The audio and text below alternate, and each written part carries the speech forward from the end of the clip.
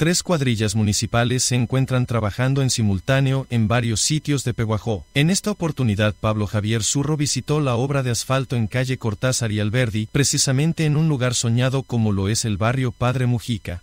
Bueno, seguimos, estamos en Cortázar, en el barrio, ¿qué nombre?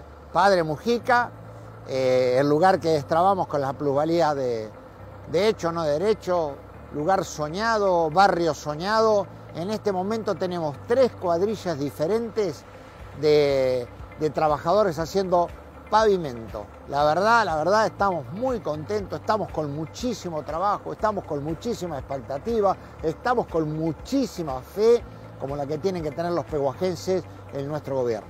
Buenos días, estamos eh, en, otro lugar que se está haciendo pavimento Peguajó, es en el barrio Mujica, en la calle Cortaza.